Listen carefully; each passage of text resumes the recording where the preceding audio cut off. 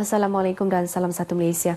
Angkara cemburu seorang wanita warga Indonesia 24 tahun dipercaya ditemui maut selepas dipercayai ditikam oleh suaminya dalam kejadian di hadapan kuartus pekerja sebuah ladang di Kuala Paramiri awal pagi semalam.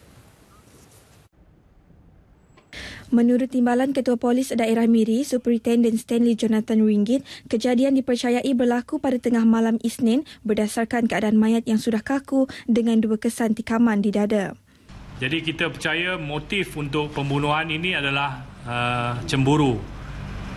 Kerana pada malam tadi uh, suspek telah mencari isterinya dan uh, dan dipercaya isterinya uh, ada bersama orang lain dan akibat daripada itu suspek telah uh, mengambil sebilah badik dan uh, cuba menikam lelaki yang bersama isteri dia tetapi lelaki tersebut telah melarikan diri dan uh, uh, isteri dia juga mendapat tikaman daripada suspek.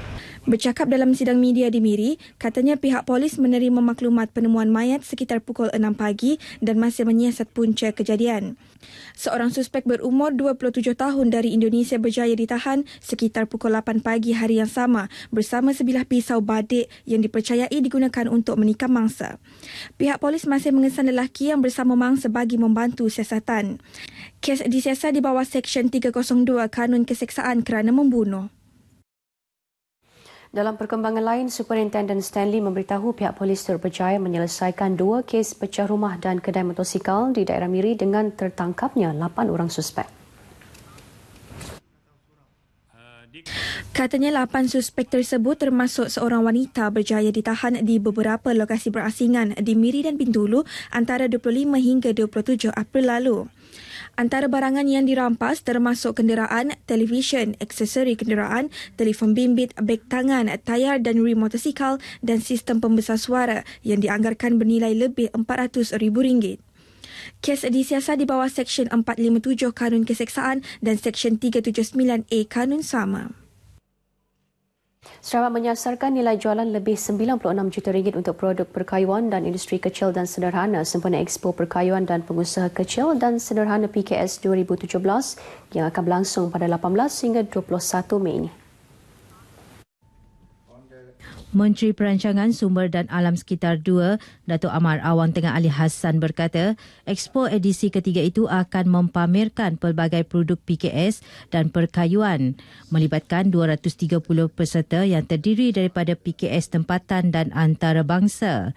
Jelasnya pelbagai program turut diadakan termasuk forum yang akan dikendalikan oleh penceramah-penceramah tempatan berpengalaman yang akan berkongsi mengenai teknik perniagaan terkini. Menurut Datuk Amar Awang Tengah, Expo Dwi tahunan tersebut antara lain bertujuan untuk menggalakkan perdagangan perkayuan serta produk bukan perkayuan yang dihasilkan oleh pengeluar tempatan. Beliau berkata demikian dalam sidang media di Kuching. Dalam Expo edisi kedua yang diadakan pada 2015, berjaya mencatatkan jualan perkayuan bernilai 95 juta ringgit, manakala produk industri kecil dan sederhana pula bernilai 1 juta ringgit. Dalam perkembangan berkaitan pemansuhan dasar kabotaj dilihat akan memberi impak positif kepada industri perkayuan di negeri ini dalam jangka masa panjang. Datuk Amar Awan Tengah berkata sejumlah besar produk kayu termasuk papan lapis adalah bertujuan untuk pengeksportan berbanding permintaan di pasaran tempatan yang agak kecil. Katanya dengan adanya beberapa pelabuhan laut dalam termasuk pelabuhan Bintulu Sarawak, ia membolehkan penghantaran produk perkayuan secara terus ke negara pembeli seperti China selain membabitkan kos yang lebih rendah. Selain itu, kapal negara-negara tersebut boleh datang terus ke Sarawak tanpa perlu berhenti di Pelabuhan Kelang seperti yang diperuntukkan di bawah dasar kabotaj. Pada 24 April lalu, Ketua Menteri Datuk Amar Abang Johari Tun Openg mengumumkan Sarawak telah mengemukakan cadangan kepada kerajaan pusat untuk memansuhkan dasar kabotaj. Golongan nelayan di negeri ini disaran agar memanfaatkan peluang untuk berkecimpung di dalam bidang perniagaan bagi meningkatkan taraf ekonomi masing-masing dan tidak hanya bergantung dengan pendapatan menangkap ikan semata-mata. Menteri di Jabatan Perdana Menteri Datuk Seri Nancy Shukri menjelaskan golongan itu digalak untuk mengusahakan makanan halal yang berasaskan ikan seperti keropok ikan dan burger ikan. Dalam pada itu, perniagaan itu tidak hanya tertumpu kepada golongan nelayan, malah golongan wanita juga. Beliau berkata demikian semasa berucap pada majlis penyampaian elaun sara hidup nelayan secara tunai Persatuan Nelayan Kawasan Asajaya Semerak di Samarahan. Penghuni yang menjalani tempoh tahanan di Sekolah Henry Gurney Puncak Borneo di Jalan Puncak Borneo harus diberi peluang kedua dengan menimba ilmu pengetahuan sebagai persiapan menghadapi kehidupan baru selepas dibebaskan kelak. Menteri Kebajikan Wanita dan Kesejahteraan Komuniti Datuk Fatimah Abdullah berkata setiap lapisan masyarakat perlu memberi sokongan dan bantuan supaya mereka dapat memulakan kehidupan baru. Jelas beliau empat faktor dilihat sebagai penentu kejayaan para penghuni untuk menempuhi dunia luar. Faktor itu adalah kecemerlangan guru yang mengajar, kemudahan pembelajaran, sokongan ibu bapa dan kehendak penghuni itu sendiri untuk berubah. Di samping itu, program vokasional yang disediakan turut membantu menyediakan penghuni dalam mencari pekerjaan supaya dapat berdikari. Datuk Fatimah berkata demikian pada program motivasi dan kecemerlangan sijil pelajaran Malaysia SPM Sekolah Henry Journey Puncak Borneo. Laporan keputusan SPM 2016 bagi sekolah tersebut yang melibatkan seramai lima orang calon mencatatkan keputusan 100% lulus berdasarkan sekurang-kurangnya lulus dalam mata pelajaran Bahasa Melayu dan Sejarah. Usaha yang dirintis oleh Persatuan Gagasan Anak Sarawak GADS mengadakan bazar gawai Dayak di lima lokasi di negeri ini sesuatu yang selaras dengan hasrat kerajaan melahirkan golongan usahawan termasuk Idaga Ia sekaligus menyahut langkah kerajaan Sarawak yang berhasrat untuk membangunkan kemudahan teknologi maklumat dan komunikasi ICT bagi memastikan usahawan memanfaatkan kemudahan itu. Menteri Muda Pertanian Sarawak Malcolm Musin Lamoh berkata demikian ketika berucap di Majlis Perasmian Bazar Gawai Dayak Anjuran GADS Bintulu di tapak lapangan terbang lama Bintulu yang akan berlangsung sehingga 15 Mei ini.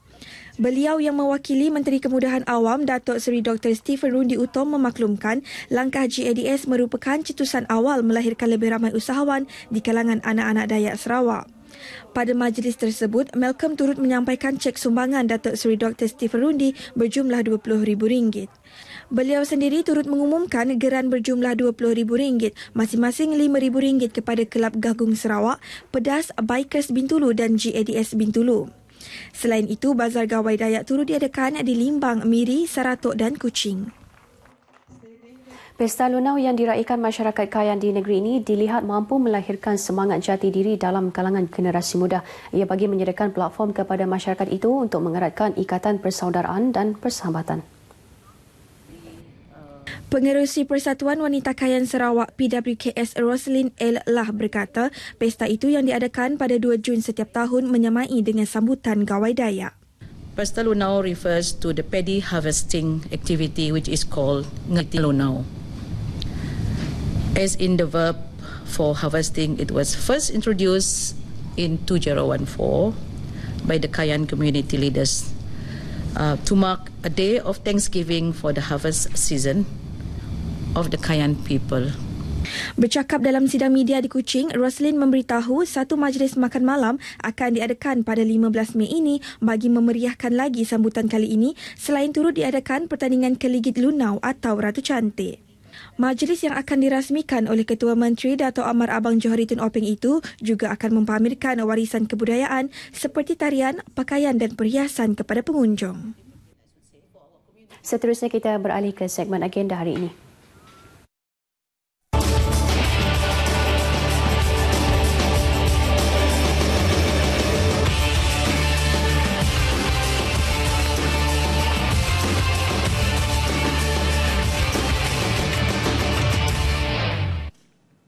Antara liputan dalam agenda hari ini pada pukul 10.30 minit pagi, Menteri Perancangan Sumber dalam sekitar dua, Datuk Amar Rawan Tengah Ali Hassan mewakili Ketua Menteri menyempurnakan Majlis Pelancaran Heart of Borneo HOB Scientific Expedition Long Banga Seminar 2017 di Kuching.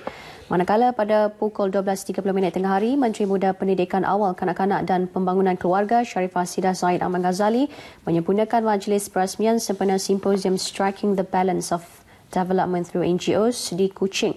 Dan akhir sekali pada pukul 3.30 minit petang, Timbalan Ketua Menteri Datuk Ahmad Douglas Ugambas menghadiri majlis pelancaran The Longest Met in the World in conjunction with Asian International Film Festival and Awards IFA 2017 di Kuching.